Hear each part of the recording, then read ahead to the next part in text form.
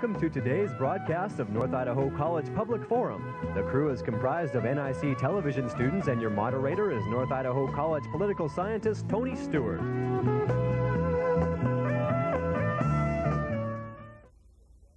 We're very happy to bring you a two week series with guests from different parts of the world, and they are in our country, and they have been here to study the political process and elections that we have recently had.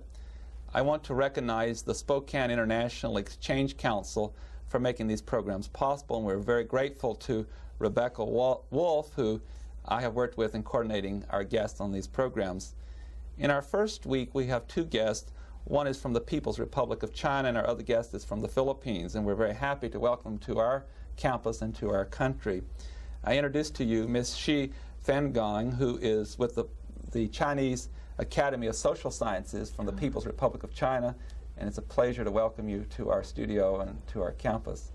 And our second guest is Emmanuel Rabakal, who is the, I understand, manager and newscaster for uh, the radio station DYMF in the Philippines. Welcome to our campus. Uh, we're just delighted to have you here and to ask these questions and to engage in this dialogue. And as always, I'm very happy to have regular panelists uh, Dean Steve Shink, who is Dean of Community Relations and Development at North Idaho College, and I shall ask Steve to commence the questioning. Thank you, Tony. Uh, maybe we could begin by just getting to know one another a little bit better, and I wonder if you would share with us uh, something about yourselves personally, your backgrounds, what you do, um, where you live in your own countries, and how you came to be a part of this program. Mr. Rabakal, could we start with you? Yeah, thank you. As introduced, I'm Emmanuel Rabakal. I'm called Ma Manny by my friends. I come from the second largest city of uh, the Philippines. You know, the Philippines is an island.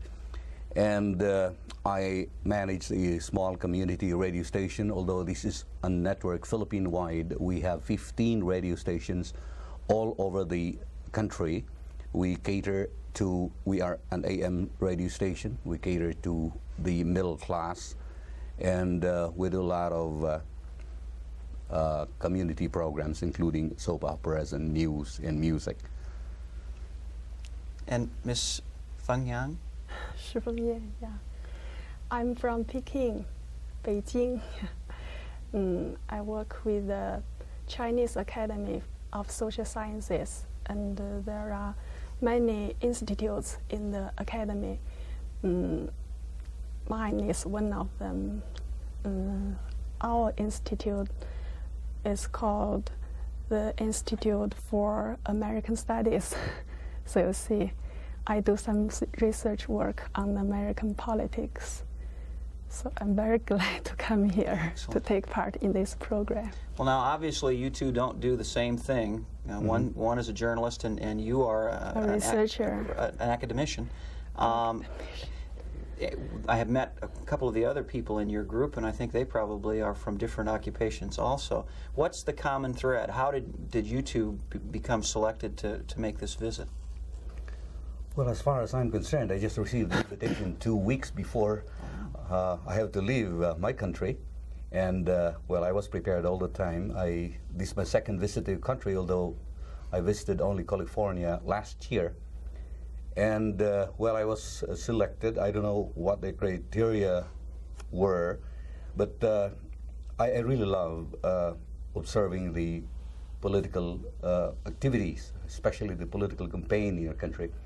And it gives us, especially me being a, at the same time also a commentator uh, of my radio station, and I talk a lot about politics in my country, and it gives me a real insight of what's really happening in this country. If you'll ask me, I, I, really thought that foreign policy will be the main issue in these elections, and we really thought that uh, we Filipinos, especially, as are of the perception that you'll be talking about our bases, and this will be made as an issue in this in these presidential elections. I was shocked when I was in Washington D.C. I interviewed some people there and didn't even know about the Philippines, much more about the United States bases in the country. And uh, well, I have uh, a little uh, knowledge now about your political system. Although our uh, governmental system are almost uh, the same, although we don't have any electoral college as we have, as you have here. We have a, a president, a vice president, two houses of Congress. Uh, but uh, in the local levels, uh, we only have the governor and the mayor. We don't have uh, your state uh, governor and uh, your city administrator, city manager, and the mayor, and so on and so forth. Ours is uh, a little simple. Is this also, is this your first visit to the United States? Yeah, it's my first visit. Were you, uh, like your colleague, surprised by some of the things that you observed uh, as part of our political process? Did that differ from what your research in China would have led you to believe? Pardon. Is it uh, that when you took a look at the election process in this country, as you're doing Yeah. that now, is it different than you thought it would be from your studies in China? different. Yes, he, Oh, he mentioned yeah, that, it, they- that they are issues weren't as very different, I think. What what are some of the differences that struck you? What sort of things Mm. were different than you thought they would be? I think maybe we, we haven't such election in our country, and uh, maybe we haven't uh, election in the real sense of the word. Mm. So The whole process is a little uh, different for it- you. it's very different. I don't. I- I think it's they are uncomparable. Mhm. Well, let me ask you a little bit about your itinerary. Um, I know you've made other stops besides the, this television studio today. Uh, what else have you done, and what else are you going to do while you're while you're on this visit? Uh, we are we are divided into teams. By the way, we started in Washington D.C. all of us uh, together, and we were divided into teams. Oh no! From there we went to Baltimore, Maryland, and uh, from there we went. Uh, my team together with uh, Miss Shi went to Cleveland, Ohio, and from there we met again. The whole uh, team, uh, the whole group uh, met again in Houston, Texas, and from Houston we went to San Francisco, the whole team, and then we're divided again into uh, five or eight teams, and my team, four of us, are here in your country or in the state of Washington, specifically in Spokane. We'll be leaving tomorrow for New York, and that will be the last leg of, of the program until the 22nd, although I'll be staying a day more in New York, and uh, my program, I, as I requested, together with another Filipino, by the way, there are only two of us, the other is a lady, a television journalist also of uh, the number one city in our country, uh, will be going to Honolulu. We'll be observing the SAMPAC and the East-West Center and, and the other things that are of relevance to my country. I would like to ask a couple of questions. I'm a political scientist, so I feel uh, a relationship to your work because I'm in social sciences also. Uh, we do a lot of writing about our political system in this country, and I know part of our responsibility with your visit today was to compare notes with you and what we do, and I'll, I will try to do that for a few minutes. We have some criticism of our political system from the viewpoint that our elections at the national level, we have elections at a lot of levels in this country. We have the local city, county that you referred to earlier, and we have statewide in Idaho or Maryland, wherever you may be, and then our national elections. Sometimes those are held at the same time, and some are held at what we call off years when the national elections are not being held. And I say all of that to make this point. We're almost always in the election process. Uh, when this election is over, uh, well, when this show airs, it'll already be over, but when the presidential race is over, the losing party will start organizing for four years from now. so we, we go constantly. And then when candidates announce for president in this country, they announce, they start working two years in advance very seriously, and they'll announce a year before the election. So my point is, we have very long elections. Uh, also, it's very expensive television, uh, advertising, for example. So we have very long elections, very expensive, and a lot of discussion. But your point was well taken. In this given year, we don't discuss issues much at this particular time. We deal with slogans and so forth. So I want to get both of your reaction to what I said. Uh, and first of all, did this surprise you when you came here that, uh, or how do you react to the fact that, that we have long elections, they're very expensive, and we don't discuss some of the issues we thought we would? I would start with you. And uh, what is your reaction to all of that? Oh, I, I, I think it's too expensive too. And uh, maybe I, I think um, it's, uh, I think sometimes it attached too much importance to image, uh, rhetoric, than essential things. Yes, Ms. Um, how do you compare this with other places that you're familiar with, either in your country or other countries? Do you think that most other countries have shorter elections than we do, or, or would no, you have any? I, I don't think so. Maybe your is very peculiar. yes. Okay. I'll get your reaction. Yeah, Emmanuel. uh, Tony, is what I said. Uh, we ha- almost have the same uh, system of government.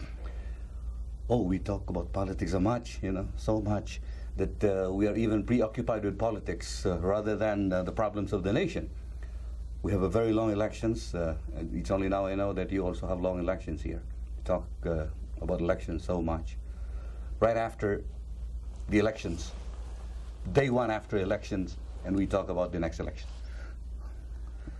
We will be having another elections in 1992, and uh, you know there are already political realignments. People who have been supporting our president, President Corazon Aquino, are now you know uh, having another coalition uh, against uh, the the coalition of uh, the president, and there are al- also even our vice president joined another coalition, and this is now the opposition coalition, and that's politics for you in the Philippines.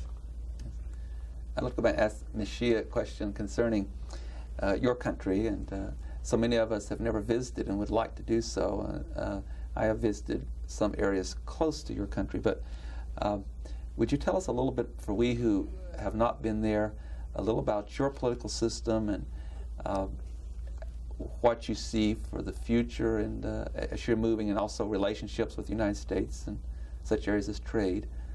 Uh, that's a very broad question, but I want to give you some areas to talk about uh, what is happening in your country. You see, mm, I think you know that mm, we have only one party. Yes. Uh, yeah, it's Communist Party, and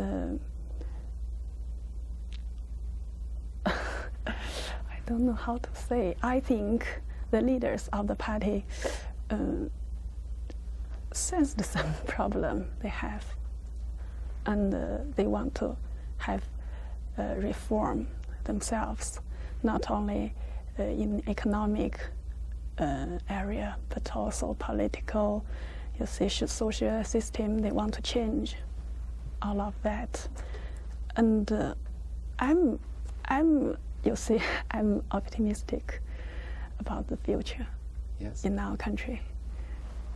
In relation to the reform, we've been reading some about that. In all countries, there are different factions that want to go different directions. Are we reading it correctly when we say that when you talk about the reforms that, uh, or maybe you could be specific with some reforms, that there's a movement more towards uh, what we call industrialization and uh, producing uh, in, in trade with more parts of the world and so forth? Could you just tell us a little more about what path you think the reform is taking? Mm, I think I don't know exactly, and uh, maybe our leaders don't exactly know how to do. I think we just try, but I. and uh, I think these years, um, they have, there are many many progress in our country. I have one more question before I go back to Steve. With all countries, there's at times where there's delicate relationships and other times where it's much smoother. There's been some real problems between the Soviet Union and your country. And now with Gorbachev's policies in, in the Soviet Union, making some changes, some changes in your country, how is the relationship in foreign policy between the, the Soviet Union and China today? Is it, is it less tense or uh, maybe less tense. Um, but I think it's um, a problem of foreign policy. It has very uh, not very much to do with uh, you see domestic policy. Thank you, Steve. Well, now for both of you, this is a, this is your first visit, and for you, it's a second visit. Second but you visit. only saw a, a very small portion of the country. Of course, there's a lot of country here to see Yes. in an, in an uh, extensive visit, and many of them. But I'm I'm always curious about the reactions of people who are essentially seeing this area, this this whole United States for the first time. What what are some of your reactions? What were some of your surprises? Things different than you expected them to be here? Yeah, uh, my first surprise was uh, I thought uh, the you have all the money in the world and uh, you have even the local governments is no problem.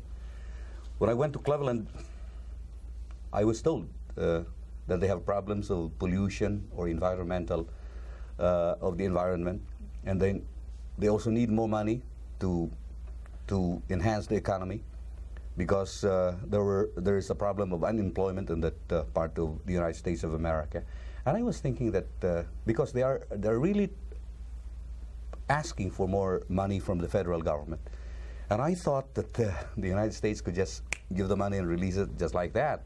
The way they are, because uh, you know. Uh, we know for a fact that you are helping also the third world, especially the third world countries. And we thought that you that reach and all your people all the, the, the, states in this uh, big United States of America are really satisfied and have no problems with money. And uh, that I found out in my in, in the sorties that I've been uh, that I've been to. So basically, it's only that. And uh, let me repeat that uh, it is my perception and the perception of the Filipino people that you talk a lot about foreign policy here. Until I was really tempted to comment in one of the sessions that it is just a few, a handful of people up there in the Capitol Hills and, uh, and the White House, I believe, are making these foreign policies without even the knowledge of, of the average Americans. I want to get back to that in just a minute, but before I do, let me ask Ms. Shi, what, what about your first impression of this oh, country? What surprised my, my you? first impression is your people. I think the people in your country are very nice. you see, uh, um, you see, we have. Uh, I don't know how to say. Just. Um,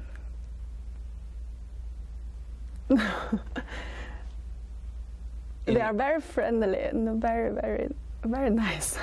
Any other any other surprises? Any other things that you found were different than you thought they would be? Um, no. All right. Well, let's turn back. To, let's turn back to foreign policy. And uh, you mentioned earlier that you thought that that would be a, a key issue in the election. Of course, this election is being characterized as one where there are no key issues really, and maybe that's not so different from most presidential elections in this country my sense of it is that foreign policy is an issue in a very general sense. It's been discussed in terms of the, of the relative strengths of the two candidates. But um, to be specific, no, I, I, would have to agree with you. I don't think there are a lot of specifics being discussed. You mentioned the, the bases, military bases in, in your country. What's, what's the impression of your people about that? What's their feeling about U.S. military presence in the Philippines? It depends uh, in what fence you belong. Uh, for example, most of the senators uh, are of the impression that the United States basis in our country is for the interest of America and not interest for the interest of the region. But in the lower house, we call that uh, the House of Representatives, just like what you call it here, I would like to believe that they are for the retention of the bases. I am very happy when I read about uh, an agreement signed already in Washington about uh, the compensation for the year 1990 and 1991. Mm -hmm. And, uh, well, uh, most Filipinos, uh, I, I, think I'm very safe telling you this, most Filipinos, as of now, are really for the retention of the American bases in my country. Of course, we are in need of money, and uh, this is not blackmail as uh, what some, uh, some leaders in your country said, that this sort of a blackmail asking for more uh, compensation package, uh, if only for your base to be retained in our country. No, I think it's just fair for you also to give us a little more because we're only receiving less than two hundred million uh, dollars a year before when you are given more, giving more to Egypt, who's, who don't even have, who doesn't even have an American base, and Israel, and why not in a country when you are occupying hundreds of thousands of hectares uh, of land in my country for your bases? How many U.S. military personnel are in the Philippines today? Oh, uh, I could not be very sure now. Uh, uh, hundreds of, uh, uh, thousands of them. Is it a significant economic impact on the country? I, I should say yes. It has helped uh, the economy of the Philippines, especially in that part of of uh, the country. Yeah, uh, we don't deny that. It really has helped employment, uh, uh, buying our, our market, our food, because you do buy some of our foods there. It really helped. Uh, but over and above these, there are some some uh, issues that uh, have to be really uh, be negotiated. While we're talking about U.S. military presence in other parts of the world, I was surprised, and it seems like I'm surprised by something almost every day, but I was surprised to see in a newscast recently that the United States and China jointly operate um, very sensitive, sophisticated, long range listening bases on the border with the Soviet Union, and that that's one of the ways that we monitor uh, Soviet nuclear tests inside their own country. Uh, are, are, I was totally unaware of that relationship. Is that something that most people in China know about, and how do they feel about Oh, it? I if they don't know this. You didn't. Well, that's. Well, that's I think maybe it's incredible. I think. it's. It was a surprise to me too. Oh, I don't know. This, this goes to, to some other areas too. In the United Nations, the People's Republic of China and the United States have joined forces on a number of issues that deal with the Soviet Union's uh, movement into Africa and other places. We have some common concerns that we do. And I hadn't read that either, but uh, th- th- there are different areas where that's happened. I, I would like to maybe make a short commentary on our presidential elections. We're like all other countries, I suppose. It varies from time to time, and what you're seeing this time may be different than what was in 1980 or 1968 and so forth. Uh-huh. I, I would just like to say and then ask if that is true in your country. Uh, although we have not had a lot of issues in this particular campaign, uh, sometimes that's somewhat determined by the events in the world and, the, and uh, in our own country. For example, in the 1960s, particularly the 1968 election, The the, the issue in the presidential election was foreign policy, and it dealt with the Vietnam War. We've had elections when it was the economy, certainly during the Great Depression, and how we would deal with it. I, I'm just simply saying that sometimes events are so strong, they determine the course of presidential candidates and other candidates for the Congress and so forth. Uh, with that in mind, I would like to say that at one point in this country, some years ago, there was a great debate and discussion about nuclear weapons and their spreading around the world. and because of that, I think it has impacted to some extent uh, agreements such as the one between the United States and the Soviet Union recently and, and, and a small arms reduction.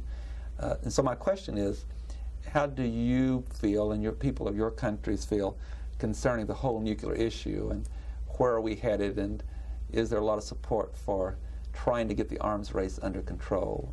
Uh, go with uh, the view of the People's Republic of China first.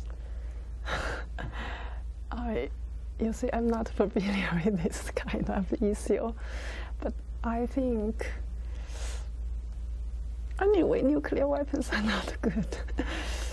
But the people that you know and that you talk with, would there be great support among the general population if to uh, try to put more pressure on all governments in the world to, to deal with this issue? Uh, we hear a lot that there's a common thread among people around the world that not, not so much in the leadership of countries, but with the people of, about how serious this problem is. Oh, I think common people's view about nuclear weapons. I don't think there will be a, you see, nuclear war. so, I, I'm not quite concerned about that. Yeah, we're very much concerned about that. You know that we have, uh, we're hosting your American bases Yes. in our country, and uh, well, there are even some debates about uh, the presence of nuclear weapons in our country. Well, of course, we, we fear nuclear war, and uh, this is a welcome uh, this is a welcome development. You know, Cam Ranh Bay is just uh, an hour away from my country, and uh, this is a, one of the biggest naval bases of Russia outside of the country. And uh, in the event of a nuclear war, of course, we'll be affected. That's why that's a welcome development. Thank you, Steve. There have been some very significant changes going on in the People's Republic of China, and there were some recently in the Philippines. Um, I'm going to ask you to guess a little bit now, but if you were going to look ahead 10 years from now, um, how do you see the way your countries are being governed is changing? And how do you see the relationship between your countries and the United States? I I, I think I can't expect anything in our country, but I think things will get things will be getting, you see, better and better. We see. And uh, the relation between the United States and the, the People's Republic of China, I think the relation will be mm, increasingly better. Good. Good. And you? Oh, well, uh, we, we had uh, a very special, and we still have the very special relation, relationship with your country. We really uh, wanted to go on with that, continue on with that special relationship, and I, I'm very uh, optimistic that we will continue on with that, and we'll uh, continue to help uh, each other uh, for the advancement and achievement of world peace. Of course, uh, you are the superpower, we are only a small nation. Most of the burden is on your shoulders. When you go back and you visit with your colleagues, because basically this is a, is a political fact-finding mission, you're here to observe our political system, what's the first thing that you're going to tell your friends and colleagues at the institute where you work? Uh, tell about what? About our political system and the elections.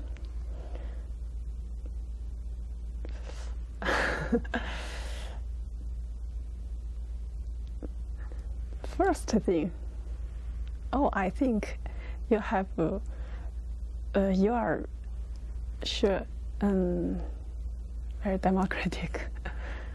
And your first impression, your first Yeah, I will. I will try to compare. I will try to tell the people about my what I uh, found out here. I'll try to compare compare our presidential elections and your presidential elections, which is quite complicated, especially with that electoral college. And of course, I will tell them that. Uh, well, uh, this also re- regarding our American base, not to expect too much from America because you also have problems here. I think that's the, the two most important things I'll tell my people. On behalf of Steve and our staff, I want to thank both of you for being on our program. We've enjoyed this interview, and again, I want to say welcome to our country, and we hope that you both will be able to come back at some future date. And uh, we also want again to say uh, a special thank you to the Spokane International Exchange Council for making this program available to us. And I would remind you they'll be with us again next week, some other guests from other countries, uh, when we'll continue to discuss how other people look at our country and our political process. Until then, please have a good week. I am Tony Stewart.